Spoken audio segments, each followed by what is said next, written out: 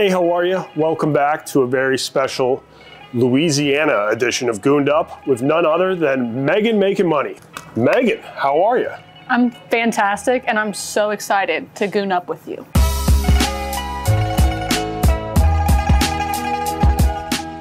You're the first female guest I've had on the show since Hawaii, my Chinese cleaning lady. Hey, how are ya? I'm glad to follow in her footsteps. Yeah, they are very, well, they're very small shoes to fill, but, um, you know, figuratively, they're very big shoes to fill. Right. But I think you can do it. And um, yeah, I'm pumped. I've never made Creole rangoons before, so this is gonna be a treat. What are you thinking today? I think we do one, one of my favorite dishes to make. It's a labor of love, but a gumbo goon.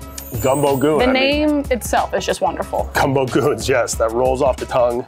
And gumbo is like the Louisiana food.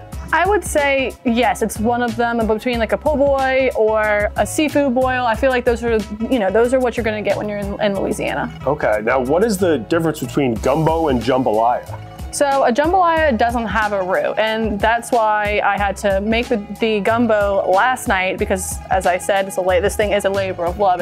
Whenever I make a roux, it takes about an hour and 20 because I get it real dark. I like, you know, the darker it is, the more taste you have um, in your gumbo. It's a little bit deeper, more flavorful.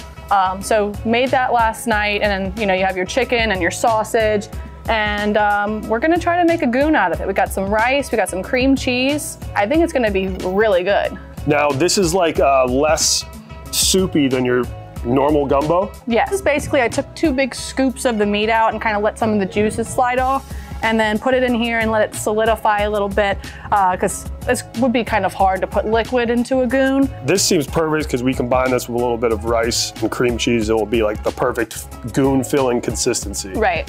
Um, and then what do you have uh, planned for the second rangoon? Uh, there's a dish at Jazz Fest that I love to get. There's a bunch of food vendors there. Something called a crawfish pistolette.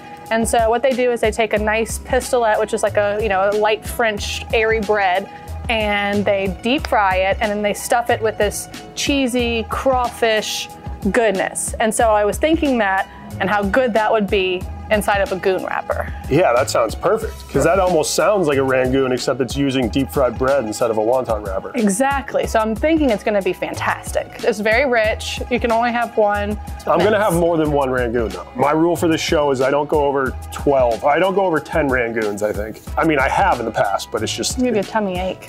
you get goon gut. Oh, goon Yeah, gut. Goon gut is not great. All right, I'm pumped. So let's uh, start with the gumbo goons. Seeing you have already made it, do all we have to do is just combine it with the rice and cream cheese? That's what I'm thinking. I think we get that big bowl. I've never put rice in a goon before.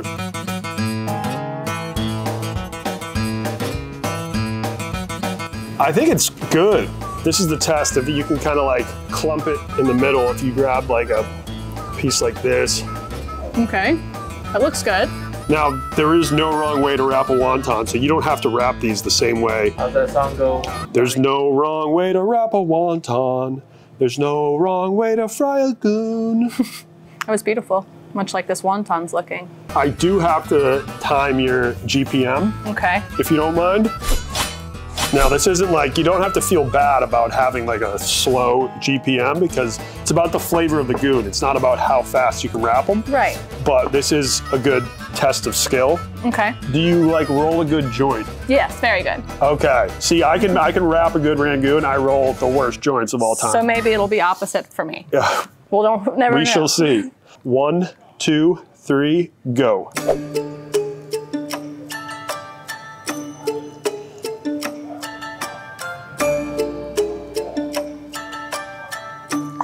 Now, a little tip. I wouldn't put them in all of the wrappers because you might not have time to wrap them all. Oh, So, interesting. might I didn't think like- about that. Yep.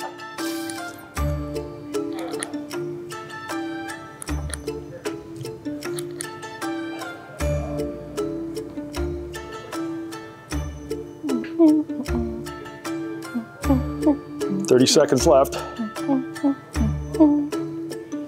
Gotta make sure it's all nice and closed. I mean, Yeah, she's she's focused on quality here, not quantity. Yeah, I kind of, I'm kind Taking of. Taking her sweet ass time. Yeah, my fault, But Donnie. th- that's a beautiful goon. That's a beautiful goon. I mean, I would rather have it look pretty and, and taste good than just be a sloppy mess, right? Yeah, yeah. Because the rule is if any of the goons like are not fully sealed, they don't count. But and you are done. Well, one goon per minute. Um, you know what? That's like a half. I'm gonna give you two. Okay. I'm gonna give you two. Two goons. Two goons in one minute. Not impressive, but at least I think that the taste and the quality will be there. I think. Actually, we have another Louisiana guy in our office, Ben Mintz. I kind of want to see what his GPM is. Yeah, we got to make sure he washes his hands first, though. Um, do we? Because like these are all gonna be fried in oil, and I feel like I don't the, know. I the just oil. feel like he will. he has some like primitive some stuff that will break through that oil. He's like a cockroach. You can't kill that man. yes, I mean I have seen him try to make a grilled cheese, and it was shocking. What the fuck is that? What the fuck is that? Look at Tony. Yes, Britt. On fire! We have Mitzi, actual Mitzi, fire. I don't think he has ever cooked a meal for himself in his life. Um, let me just see if he's here. All right, so Mintz, I will have you back on the show at the end to sample all these goons. Got it. But um, I just wanted to measure your GPM as well, being another Louisiana guy in the office. So GPM is goons per minute. You're gonna have one minute and just see how many uh, rangoons you can wrap. Is there? Can I see a trial on how to? I've never, Yeah, I can't yeah. say I've ever done it, so I'd like to see. Yes. I'd like. I need to see a trial. We have oh. gumbo filling. Yes, we, we, we have already made Some some sweet Louisiana smells up here in this kitchen. I got a shout out to Megan making money. She's a fire cook. She is. Now, are, are you a big gumbo guy? I do like gumbo, especially in the wintertime. You know, it's a it's a warms your soul kind of thing. Never seen a gumbo rangoon? No. No. I thought you might go when you were going to Louisiana. I was like, oh, he's probably gonna go like crawfish rangoons. Well, making those too. oh, Yeah. Yeah. See what happens when you cross cultures and shit. So I don't even know if you watched me wrap that. Okay, goon. let's do one. Let me let me see one. Okay. We'll do one I more. saw you put like a little in the middle. You don't want to overdo it. It's like the Yeah. right amount. Yeah, yeah, yeah. I do about like a t- tablespoon to a teaspoon to a tablespoon. I close it here. Okay. You seal it Then in. you kind of crimp it, crib pinch around it. Yeah, and then I just take one corner over the other, do another pinch. Um, but you know, there's no wrong way to wrap a wonton. You I, I feel like there could be. One, Hopefully. two, three, go.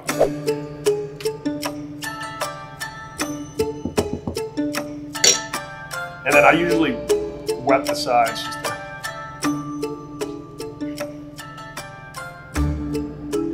After last Friday's grilled cheese, us compared, we, there's nowhere to go but up, boys.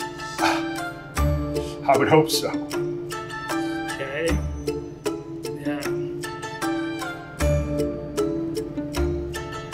Feel like I'm making it like a cannoli. That's probably not good.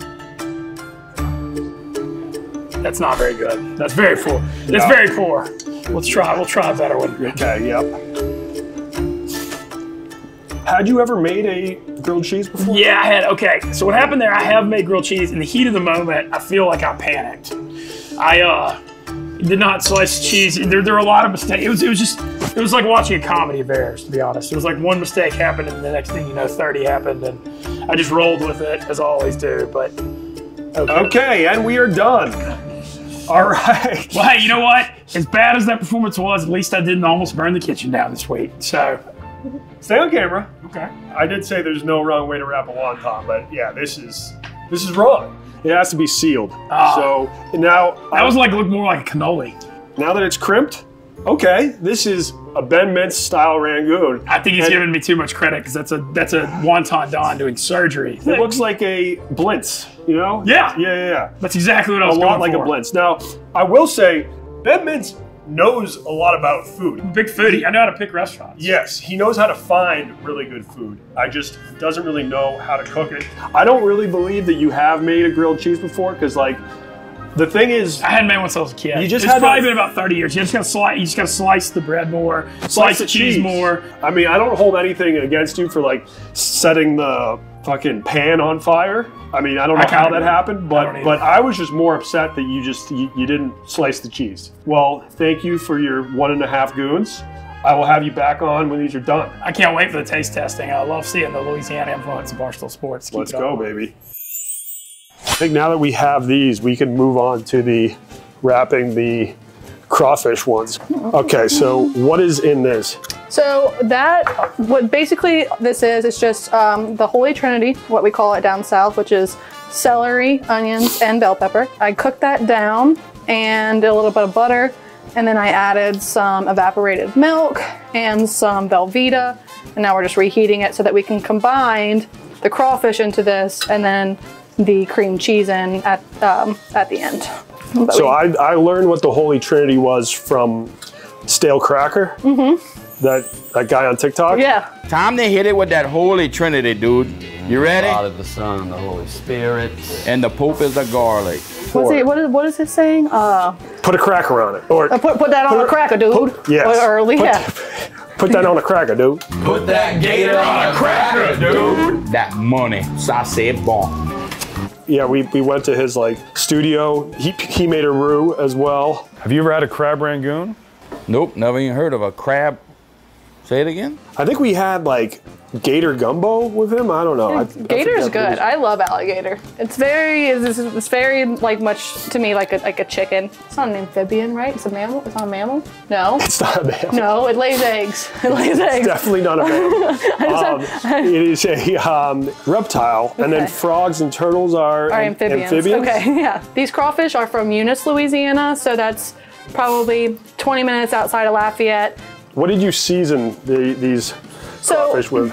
whenever you get um, you know louisiana crawfish they are going to have that little bit of like fishy taste because they're authentic they're packaged they're you know peeled and packaged so what i like to do is i like to take a little bit of crab boil but i like to put a little bit into my crawfish when i cook them off so it gives that crawfish boil flavor I like instead of just crawfish Okay. does that make Now, sense when is crawfish season in Louisiana? so it's Easter time, and then, but I will say this year it's a terrible, terrible um, like Harvest? harvest, Oh, because it was so cold down there. Yeah. So what they do is people that own rice ponds, they alternate because what they do is they'll take the rice, they'll grow the rice. Once the rice is, is picked, they take the crawfish, baby crawfish from the crawfish pond, they'll put them in the rice pond, and what that does is the baby crawfish eat all of the decaying rice that's left in the field, and that's how they start to grow. And then they put the traps in and start feeding them through the traps.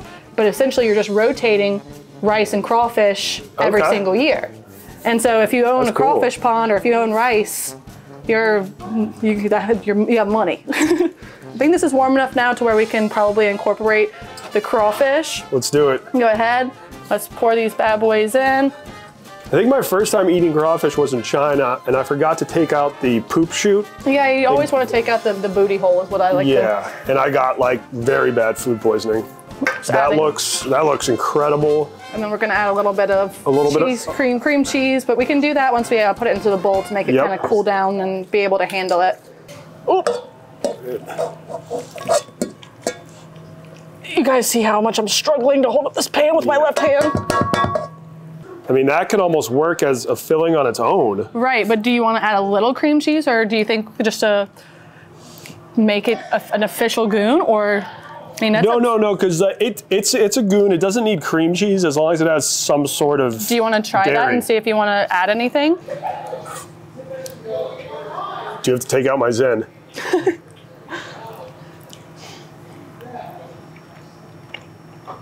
Good. That's so good. Do you think it needs the cream cheese? No. So, do you have so far on like a favorite goon that you've made? I mean, one of the favorite goons I made, but it was also kind of like based on the whole story behind it too, is my first time going spearfishing in the mm. Bahamas. I speared my own spiny lobsters, mm. and then we made spiny lobster rangoons. And spiny lobster tastes a little bit like crawfish, so these could be similar. Wow, I mean, these are gonna be so good. But I do think, yeah, we're gonna have to limit ourselves to just like Like you, so you don't three of these. goon gut. I don't- Yeah. I don't know what it is, and I also don't want to experience it. Do you think we should put this Creole seasoning on the gumbo ones and the crawfish ones, or Um, just I think the I think we could dust both of them. You don't want to put too too much because if you look at the back, low. the sodium very Yeah. high. Oh my God. Yeah. Salty, right? so what's the first goon you've you ever made? Was The it first- the, the, the spiny lobster one? No, the very first goon I made was just trying to make a Regular cream crab cheese. classic. Yeah, I um had a friend that used to eat the imitation crab sticks, like the like cheese sticks. really? Yeah, it was pretty Yeah, gross. no. I've tried that, but it's not for me. All right, we probably have enough to start frying up.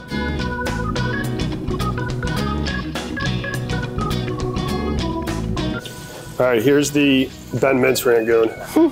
Be very careful with it. Good luck.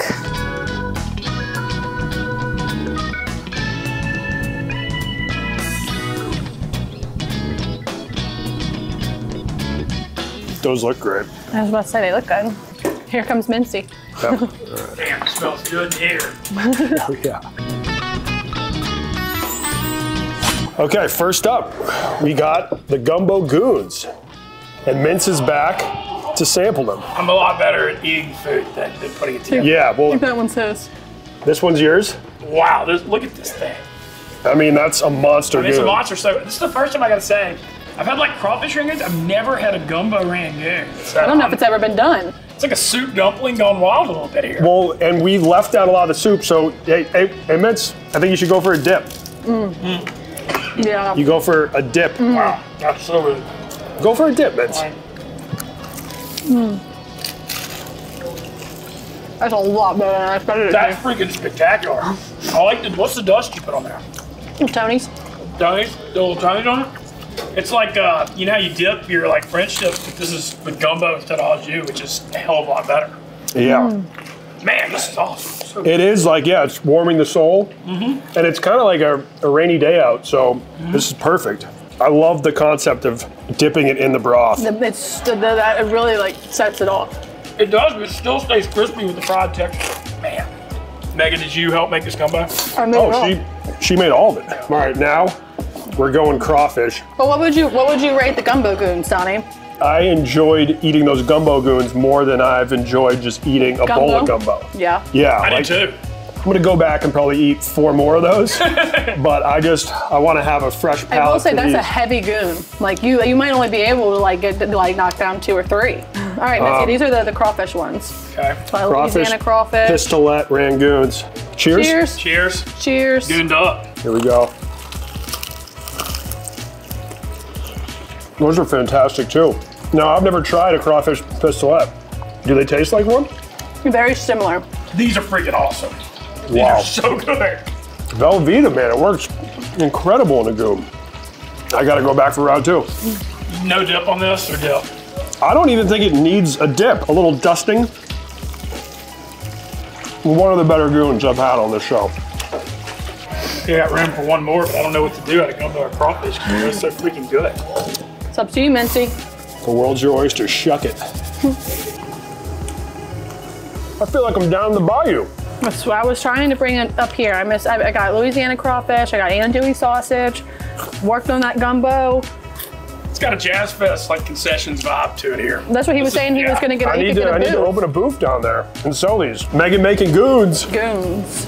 We should see if a, uh, few other people in the office want to try them. I don't I know, know. if- White Want to deliver them to the act? That's. Wa- Yes. This is from Wonton Don and Megan. I'm just the messenger. This is a gumbo goon. Oh, gumbo. goon. But you got to dip it. This crawfish has got a cream cheese. in it. It's my favorite. The gumbo freaking dollar. Gumbo goon for chaps. Made the room, yeah. Yeah. And then this one's a crawfish one. Your dog is very chill.